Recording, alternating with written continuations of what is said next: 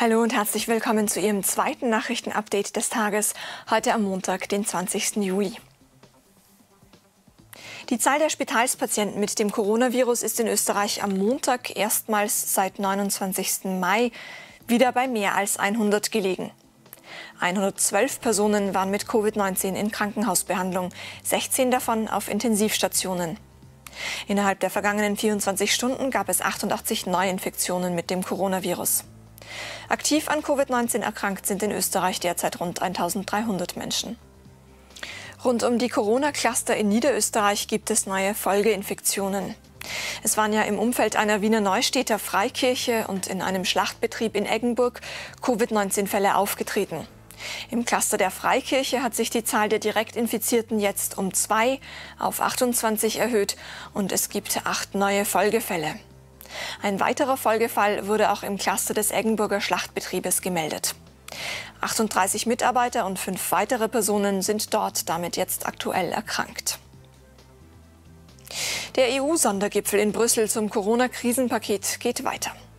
Es hat zwar deutliche Fortschritte gegeben, dennoch wurden die Gespräche am Montag gegen 6 Uhr früh unterbrochen und werden am Nachmittag wieder aufgenommen. EU-Ratspräsident Charles Michel hat am Montag früh einen neuen Verhandlungsvorschlag angekündigt. Aus Ratskreisen sickert durch, dass man sich auf 390 Milliarden Euro an Zuschüssen einigen will, die die Mitgliedstaaten nicht zurückzahlen müssen. Der restliche Fonds, also 360 Milliarden, soll dann aus Krediten bestehen. Die Gesprächsbasis bröckelt allerdings immer stärker und die übrigen Mitgliedstaaten schießen sich auf die sparsamen vier ein, darunter Österreich. Der französische Präsident Emmanuel Macron hat über Bundeskanzler Kurz sogar gesagt, er höre nicht zu, habe eine schlechte Haltung und würde sich nur um seine Presse kümmern. Sebastian Kurz und sein niederländischer Amtskollege Mark Rutte stehen besonders im Fokus. Mit dabei bei den sparsamen oder den geizigen vier, je nach Auslegung, sind auch Schweden, Dänemark und neuerdings auch Finnland. Nachdem der Gipfel in Brüssel noch andauert, müssen wir auch auf die Entscheidung über eine neuerliche Maskenpflicht noch ein wenig warten. Bundeskanzler Kurz muss noch in Brüssel bleiben. Wenn er zurück ist, wollen sich die Regierungsmitglieder am Dienstag physisch treffen. Da soll geklärt werden, wo genau die Maske wieder zur Pflicht wird und wo sie weggelassen werden darf. Danach gibt es eine Pressekonferenz. In einigen Wochen startet die Sommerschule. Eine Chance für jene Schüler, die am Höhepunkt der Corona-Krise zurückgefallen sind. Wenig später, im Herbst, soll der Unterricht großflächig und möglichst normal wieder anlaufen. Wie das alles inmitten einer Pandemie funktionieren wird, darüber habe ich mit Bildungsminister Heinz Fassmann gesprochen. Herzlich willkommen. Ja, grüß Gott. Herr Minister, Thema Sommerschule starten wir gleich damit. Das ist ja in ein paar Wochen soweit. Da sind jetzt fast 23.000 Schülerinnen und Schüler angemeldet. Es soll vor allem um das Festigen von Deutsch als Unterrichtssprache gehen. Gleichzeitig sagen Sie aber, es ist kein Paukerkurs. Das heißt, es soll locker sein. Es ist kein Stoff vorgegeben. Gleichzeitig sind da aber einige Wochen an Homeschooling wettzumachen.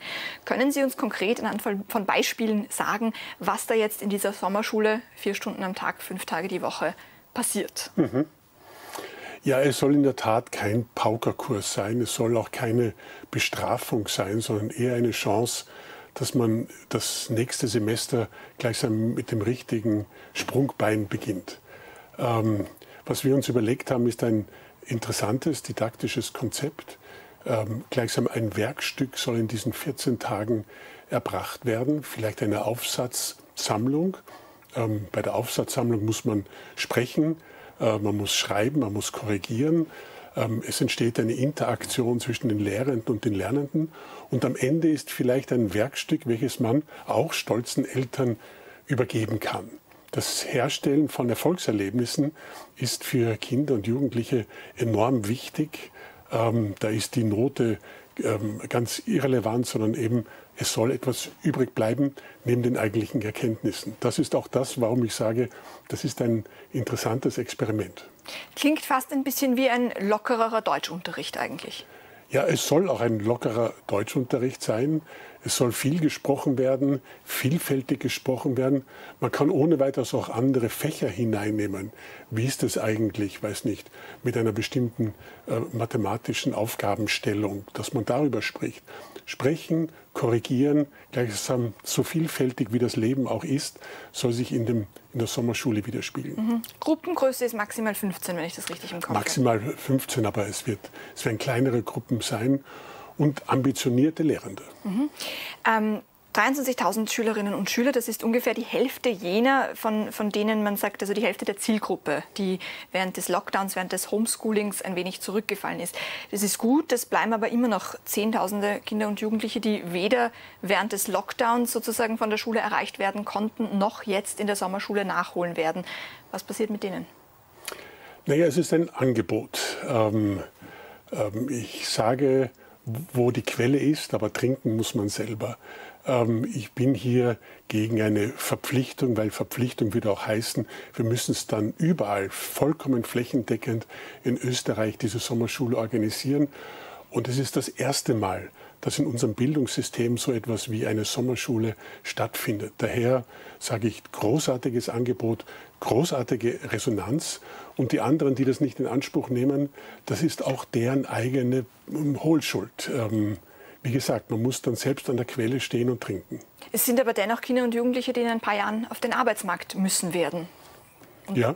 Die da ja. Nachholbedarf aber es, haben. Aber es gibt auch eine Eigenverantwortung in unserer Gesellschaft. Ich glaube, dass die öffentliche Hand Angebote schaffen muss, sozusagen Opportunitäten, aber nützen muss man diese natürlich selber. Äh, klar ist jedenfalls, dass mit Herbst ähm, spätestens wieder Zehntausende Schüler in die Schulen strömen, Zehntausende Studentinnen an die Universitäten.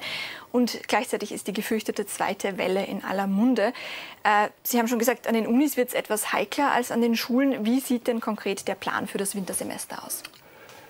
Ja, es strömen nicht nur Zehntausende, sondern Hunderttausende, ähm, also eine ganze Menge. Der Herbst wird sicherlich kritisch werden. Es wird kein einfaches Semester werden.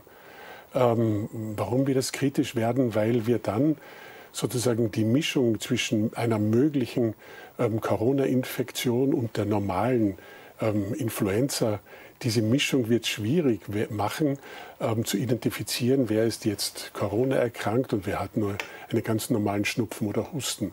Das wird, glaube ich, viel Unruhe ins System hineinbringen. Das ist eine Herausforderung, mit der wir uns auseinandersetzen.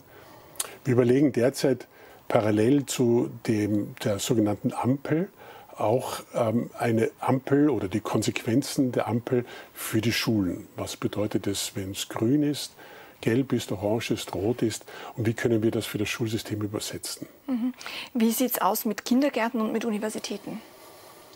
Ähm, Sie wissen, dass Kindergärten jetzt nicht ähm, meine primäre Kompetenz ist. Ähm, wir werden aber sicherlich im Bereich der Kindergärten uns öfters öffentlich zu Wort melden, weil es erfordert, glaube ich, auch ein öffentliches Votum, wie die unterschiedlichen Betreiber von Kindergärten ähm, vorgehen sollten, ohne dass wir das jetzt aufgrund unserer Kompetenzlage zwingend vorschreiben können.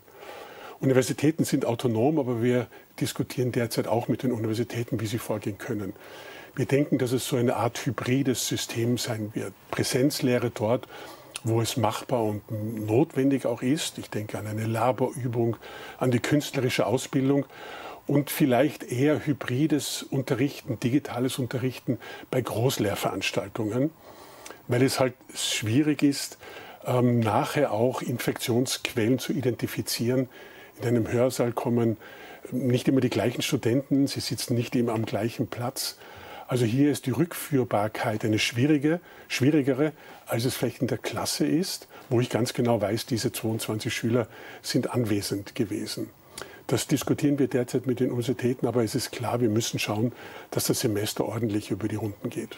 Jetzt ist natürlich digitaler Unterricht an einer Uni viel leichter zu bewerkstelligen als an einer Schule. Die meisten Unis haben Moodle, dieses äh, E-Learning-System und jeder Student kann sich einloggen und Studenten sind mhm. auch in mhm. einem Alter, wo sie eigenverantwortlich sind. Das sind Schüler äh, je nach Schulstufe noch nicht in dem Ausmaß. Und vor allem ist es ja auch so, dass daran arbeiten sie gerade, aber derzeit ist es noch so, dass an Schulen nicht immer ein einheitliches E-Learning-System besteht, nicht immer die Möglichkeit besteht, für die Eltern in Kontakt mit den Lehrern zu sein. Äh, wie weit wird man da im Herbst sein? dass man sagt, im Falle einer zweiten Welle, wie viel besser wird dieses Homeschooling dann funktionieren, als es beim ersten Mal funktioniert hat? Also um wie viel besser es sein wird, darauf möchte ich mich nicht einlassen, aber es wird besser sein. Das ist für mich gar keine Frage. Wir arbeiten daran und wir ersuchen auch die Schulen, sich einer Lernplattform zu verschreiben, damit Schüler, aber auch Eltern im Hintergrund nicht unterschiedliches immer lernen müssen. Eine einheitliche Kommunikationsschiene pro Schule ist für mich eine wünschenswerte Sache. Wir wissen auch, dass das Distance Learning in der Sekundarstufe, insbesondere in der Sekundarstufe 2, besser funktioniert, vielleicht öfters zum Einsatz kommen kann, als es bei, ähm, bei der Primarstufe oder auch bei der Sek 1 ist. Dort werden wir schauen, so lang wie möglich ganz normalen Unterricht ähm, zu organisieren, weil es ganz klar ist, der Unterricht, auch der persönliche Unterricht mit Kontakt zu den Mitschülern, aber auch zu den Lehrern und Lehrerinnen, kann nicht durch ein Endgerät ersetzt werden. Mhm. Äh, können Sie denn ganz klar ausschließen, dass es im Herbst zu einer Wiederholung der Situation kommt, dass die Verantwortung für die Kinderbetreuung, die Verantwortung für den Unterricht hauptsächlich wieder bei den Eltern, allen voran bei den Müttern liegt? Naja, ich kann es dahingehend nicht ausschließen, weil ich nicht die Infektionslage insgesamt vorhersehen kann. Ähm, das ist ja ein Teil auch des Ampelsystems und der abgestuften Vorgangsweise. Aber wenn es so ist, wie es jetzt ist, wo wir Infektionen haben, die mal ein bisschen mehr sind, ein bisschen weniger sind, wo ich vielleicht auch eine klare lokale oder regionale Verortung dieser Infektion durchführen kann, dann kann ich schon dafür sorgen, dass Schule stattfinden wird. Vielleicht nicht dort, wo ich gerade eine lokale Häufung von Infektionsfällen habe. Dort müssen wir dann vorgehen. Nicht, dass Klassen vielleicht in Quarantäne sind oder auch dann, wenn man es nicht in den Griff bekommt, eine Schule. Aber ich will weg von dieser großflächigen ähm, Schließung von Schulen kommen, weil ich ganz genau weiß, dass damit vieles an die Eltern delegiert werden, die dann in einer doppelten Drucksituation sind. Unterricht zu Hause, Erwerbstätigkeit managen. Das möchte ich gerne in der Fläche ähm, den Menschen ersparen. Und in einem Hotel in Hermagor in Kärnten hat sich ein Fuchs in der Nacht auf Montag über den Balkon geschlichen und zwei Hotelgäste in deren Zimmer gebissen. Ein 51-jähriger Urlauber aus Niederösterreich und ein 10-jähriger Bub aus der Steiermark wurden verletzt. Der Vater des Zehnjährigen konnte das Tier schließlich vertreiben. Das waren soweit die Themen für heute. Ich hoffe, Sie sind an diesem Montag gut erholt und vor allem gesund in die Woche gestartet. Und ich freue mich, dass Sie bei uns sind.